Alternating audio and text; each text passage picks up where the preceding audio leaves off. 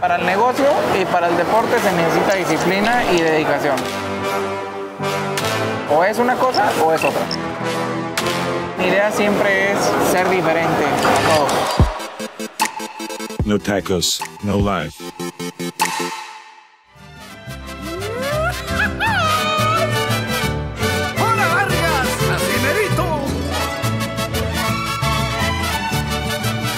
¿Cómo están? Bienvenidos a la Ruta de la Garnacha. Yo soy Lalo Villar y hoy tocan tacos con sabor a campeón.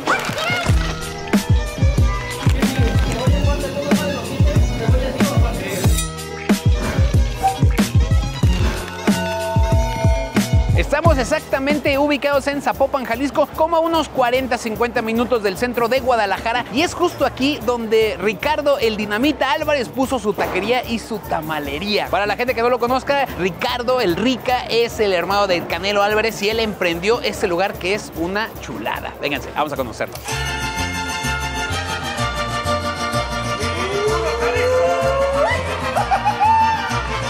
Y arriba las chivas, sí, señor. Oigan, vean nomás, los tamales y los tacos están realmente juntos. Y de hecho ellos empezaron en 2014, siendo solamente un pequeño localito. Ahora ya es casi una esquina completa y la gente de Zapopan realmente les está gustando por el sabor, las salsas que tienen en esta taquería. O sea que no solamente es porque el hermano del Canelo Álvarez, sino porque realmente le ha puesto empeño, dedicación y mucho trabajo en estos tacos. Oigan, y obviamente tenemos aquí al buen Rica, mi hermano, que se vea un enfrentamiento en tacos porque en ya sabemos que tú me vas a ganar.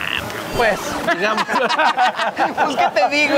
¿Cuánto amor a los tacos le tienes? No, pues un chingo. ¿Sí? Sí. Sí, machín. Sí. ¿Cuántas peleas hiciste? 34. 34.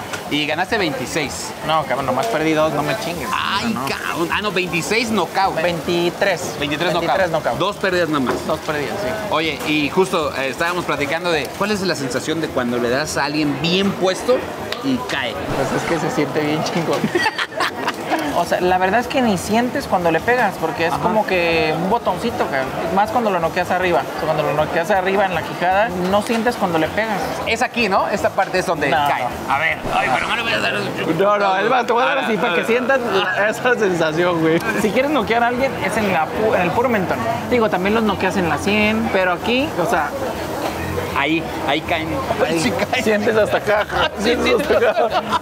¿Alguna vez fuera del ring te echaste un buen madre? Sí. Cuando estaba morro, pues muchas veces, ¿no? Ajá. Pero ya siendo profesional, una sola vez. Una sola vez. Una sola Nada vez, más. nada más. ¿Y cómo empezó todo ese cotorreo de las, de las taquerías? Mientras tú me vas platicando, yo voy comiendo. ¿Te late? Sí, Órale. cabrones de buen comer. Sí, bastante. Échame dos para probar, mi carnal, porfa. Así, espérame, pero recién bajaditos. Ándale, correcto, muy bien. Tú, tú realmente ideaste la, o sea, ideaste la taquería, fuiste por ella y lo lograste. Sí, yo te digo, yo soy emprendedor y emprendedor nato. O sea, desde chiquillo soy, tengo pinches ocurrencias e ideas. Y se me, se, me, se me ocurrió el tema de la taquería porque pues, conocí unos tacos muy buenos. Mi esposa este, me acompañó en mi idea loca y empezamos a hacer pruebas y todo. Aparte, aquí vivíamos en la colonia y no había nada de tacos buenos. Nos salíamos ella y yo a cenar y la verdad no encontramos nada bueno. ¿En qué año fue eso? En el 2014 la abrimos. Oye, que justo lo, lo hemos platicado, lo quiero nada más mencionar aquí. Al momento de no ponerle piña es que es una, una receta de los altos de Jalisco. Ah, sí, ahí está la piña por si lo quieres con Ahí piña. está. Hay gente que sí lo pide con piña. A mí,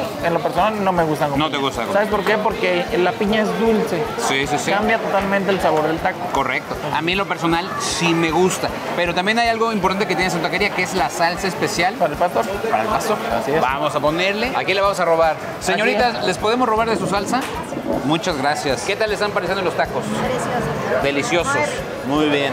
¿Vienen con sus parejas o vienen Solas, a ver la solas? película. Entonces, Ah, muy bien. ¿ustedes creen que una buena cita sea una taquería? ¿Las pueden conquistar con un buen taco? Ah, sí. Pues aquí estamos. Este es un ejemplo de que, miren, una chava se puede enamorar de ustedes con unos buenos tacos. Ya nomás. A ver. A ver, a ver qué tal. No, no, no. La verdad es que ya los probé. O sea, no voy a mentir. Ni tampoco no vamos a estar aquí nomás porque tengo miedo a que me golpee y me tunda. Que sí lo tengo. Cómetelo.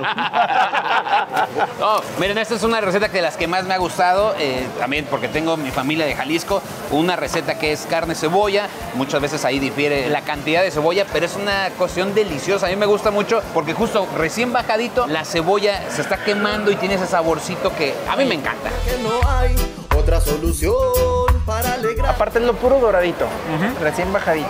Que a mi gusto es como se debe servir un taco al pastor. ¿eh? Ya cuando esto se está sobrecocinando, se sobrecuece la carne. A mí en lo particular me Posiblemente. gusta. Mira, es rico, pero a mí, me, a mí en lo personal también me gusta recién bajado. El tema es que como la afluencia de gente no te permite estarlo sirviendo todo recién bajadito Claro. porque no vas a dar abasto. Va a ser muy complicado estar sirviendo taquito porque taquito recién, recién bajadito, porque si no se va a volver loco el taquero. Suadero. ¿Cómo el suadero si aquí en Guadalajara casi no hay suadero? ¿De dónde viene la receta? ¿Qué hiciste? Vas a conocer a Chepo. Antes de ser entrenador, fue taquero. Y él me dijo, haz suadero, Rica. Yo te digo cómo hagas el suadero. Él me enseñó de una forma y aquí nosotros hemos afinado la- las cosas. O sea, no lo hago exactamente como él me dijo. Le empezamos a hacer este, cosas diferentes y así es como empezamos a trabajar el suadero. ¿Qué prefieres? ¿Suadero, tripa, campechano? ¿A ti cuál te gusta más? A mí me gusta mucho el de tripa dorada. Tripa dorada. Sí, y el del suadero también. Suadero. A ver, échame uno de suaderito, Polo, por favor. Que por cierto, eh, ahorita que lleguemos a la última estación, van ustedes a probar juntos, ¿no? Yo ya lo probé, el de labio en trozo, que aquí el buen Rica me lo preparó de una manera, miren, ni mandada a hacer. O sea, creo que le salen más bonitos los tacos de labio que los knockouts. Pues posiblemente sí. Miren, aquí ese es el salsero que normalmente ustedes van a ver en todas las mesas. Tiene dos, cuatro, seis, siete diferentes tipos de salsas, eh, rábanos y limoncitos y sal y palillos, ¿no? Además también algo que Rica me platicó es que tú sabes hacer todas las salsas. Sí, mi esposa lo sabe hacer, yo la sé hacer, o sea, y yo, pues ahorita pues, la, la persona que nos ayuda aquí para este tema, ¿no? Salsa roja de tomate, ¿no? La salsa roja de tomate siempre es muy de Jalisco. Es como el del guisado de Jalisco.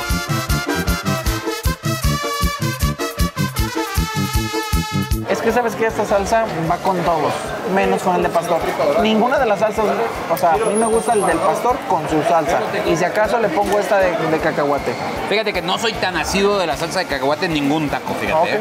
Sí, en el taco es muy diferente. Entonces depende del gusto.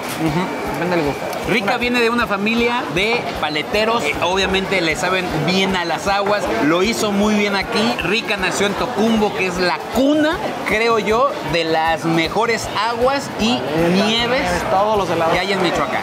Sí. Yo creo. Sí, y Y lo Tocumbo es. es. el- es donde salen todos los paleteros. Sí, Y, y quien le aprende a alguien de Tocumbo, le aprendió el mejor, el- la mejor receta, ¿eh? Sí, porque mucha gente pone una paletería, la michoacana, y realmente no hacen el producto como realmente es de la michoacana. Lo insisto, no la primera vez que lo pruebo, ya lo probé, probé horchata de fresa buenaza, blanca. horchata blanca no la he probado. Ah, pues dale. El de frutos verdes, Frutos verdes. muy, muy eh, fresca. Fresca.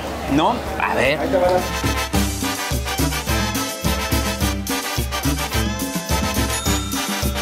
verdad está muy buena. No es la típica agua de taquería, ¿no? Correcto. Es como también sabemos hacer lo de las paletas, si ya lo sé hacer, pues lo hacemos aquí. Te voy a decir una cosa, esta agua de horchata esa es de alguien que se dedica a vender agua de horchata. Porque normalmente cuando está en una taquería... La hacen de no- arroz. La hacen de arroz o no le ponen tanta atención. Dicen, ah, Te la hacen así delgadita. exactamente, esta es espesa, es que Nosotros sabe. decimos te la hacen así chirria. Chirria. Chirria. ¿No? La última etapa de este recorrido de la taquería, vete para acá, rica. Tenemos acá los de carnaza, tenemos también los de lengua y uno que es muy bueno. ¿Cuál Labio es? en trozo. Labio en trozo. Echa uno de labio en trozo, mi hermano. Que ojo, eh, también. Vean nada más el- ese trozo increíble. Siempre hay que echarle sal antes de preparárselos para que quede al punto. El labio, mucha gente también le tiene miedo. Pruébenlo. Es más, aquí Isidro se llama, te va a decir, ¿qué es lo que se comen mis hijos, Isidro? Labio. Puro el labio. Y lo- normalmente los niños No le- no le den miedo. ajá, pero porque está bien hecho, o sea, está bien preparado. Ahí les va. Es una clave. La preparación de Rica. ¿Cómo se prepara este de labio en trozo? Porque Bueno, ahorita me lo a preparó y este- lo hizo de manera excelsa, ¿eh? Entonces vamos a echarle de habanero. Primero le echamos esta para que esté jugosito, mira. Salsa verde. Salsa verde, yo a todos les pongo este, menos el de pastor, para que esté jugosito. Porque si le echas pura habanero para que esté jugosito, pues así va a ser la enchilada que te vas a poner. Este de habanero para que esté picosito. Y luego le ponemos roja de tomate. Un toquecito de este. Le ponemos un poquito de sal. Y ojo, eh, vean la cantidad de personas que están esperando mesa aquí, eh. Una tan buena taquería que la gente de Zapopan lo está adoptando. Y tienen un eh, un eslogan que me gustó mucho que es pruébalos para, Para amarlos. amarlos. La verdad, miren, creo que la experiencia está muy bien hecha, eh. Muchas felicidades. ¿Te saliste del boxeo por hacer la taquería? La verdad es que eh, como me gusta el tema del negocio y emprender cuando puse la taquería, gracias a Dios fue tanto el éxito que para el negocio y para el deporte se necesita disciplina y dedicación. Entonces, o es una cosa o es otra. Los dos te exigen, el negocio te exige y el deporte te exige. Entonces, como dicen los dichos, no puedes servir a, a dos amos al mismo tiempo, ¿no? Entonces me, me, incliné por el negocio porque en ese momento que yo ya tenía 34 años, ¿cuánto más iba a durar en la carrera de boxeo? ¿Tres? ¿Cuatro? Bien cuidado. Entonces un negocio bien cuidado y con el éxito que tuvo, pues es para toda la vida. Próximamente en Estados Unidos. Sí, estamos a Wow. punto de abrir uno en San Diego. Va a ser un exitazo, ¿eh? Si tienen esto, Mi va a ser idea, un mi idea siempre es ser diferente a todos. Obviamente he estudiado muy bien el tema en Estados Unidos. Sé que la gente sufre por tacos en Estados Unidos. Estamos haciendo las cosas de una manera para que pruebes el taco que tú te estás comiendo aquí en Estados Unidos. Que no sea el taco mexicoamericano, que sea el taco mexicano. Un pedacito de México en Estados Unidos. Sí. Este de labio y las salsas, ¿eh? Eso es muy importante. Usó habanero, salsa verde y la de jitomate. Pónganselo, van a quedar bien contentos, que esa es la magia, ¿no? Totalmente. Si sabes de tacos, el alma del taco es la salsa. El ¿no? alma del taco y la salsa. Oye, Rica, pues muchas felicidades, neta. Ah, que te muchas va gracias. increíblemente bien. Primero Dios. Y gracias por eh, darnos el espacio. No, no. Rifado, ¿eh? Muchas gracias a ustedes. Qué fregón que se fijan en nosotros, que, que vienen a darnos también su tiempo, porque también este, su tiempo es valioso y también lo valoramos mucho, por eso estamos aquí. Eso. Estamos ubicados en Jardines del Valle, en Calzada Federalistas 2225. El taco promedio, digo, este, hay unos más caros que otros, pero el taco promedio anda sobre 19, 20 pesos. Abrimos todos los días de 2 de la tarde a 12 de la noche. Este, nada más descansamos el 24 y el 31 de diciembre. Bueno, la verdad es que les recomendamos que vengan eh, la especialidad de nosotros, el pastor. Todo está muy bueno, pero el, el pastor es la especialidad. Las salsas están muy ricas, las aguas frescas que son como de una paletería, pues la verdad cualquier cosa, el lema de aquí de nosotros es lo que pruebes te va a gustar. No hay manera que digas que no te gusta. Entonces, invitadas todos.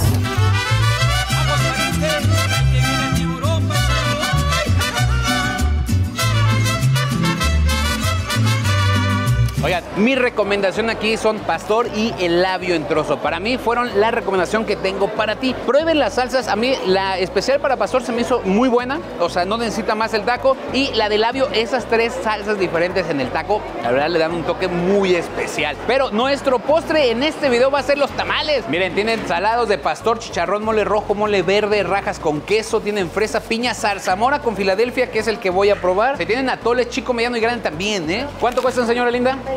20 pesotes. 21. Órale.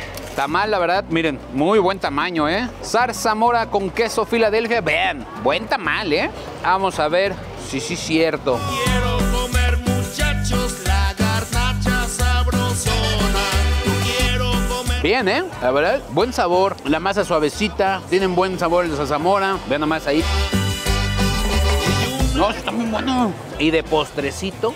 Hombre, a todo dar, ¿eh? El atole de galletas Marías, también dice aquí la señorita. Muy recomendable. Muy recomendable. Ahí está, miren nada más.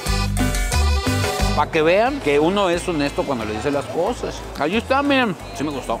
A ver, está muy bueno. Pues cuídense mucho, ya saben la recomendación. Taco de labio en trozo, el taco al pastor. Y la verdad, esos tamales sí me quedé sorprendido porque tienen muy buen sabor. Ese zarzamora con queso Filadelfia, la verdad, sí. Y vean nada más la cantidad de personas que están aquí esperando un taco porque la verdad están bastante buenos. Rica amablemente me regaló esta gorra que está increíblemente bonita. La voy a llevar en muchos lados. Gracias por ver el video, cuídense mucho, suscríbanse. Tiendafoodie.mx, están bonitas las gorras. Esperamos hacer también ahí en Tienda Foodie gorritas para ustedes, pero tenemos que la cartera de tacos, playeras y muchas cosas más. En todas las redes sociales estamos haciendo contenido exclusivo, TikTok, Instagram. Así que ahí vayan y síganos también. Cuídense mucho, yo soy Lalo Villar y nos vemos en el siguiente capítulo. Y como siempre digo, disculpa mi nutrólogo por esta vida gorda. Nos vemos. Adquiere tu credencial garnachera en tiendafoodie.mx donde vas a obtener promociones, descuentos, regalitos y muchas cosas más de más de 150 lugares desde Tijuana hasta Chetumal.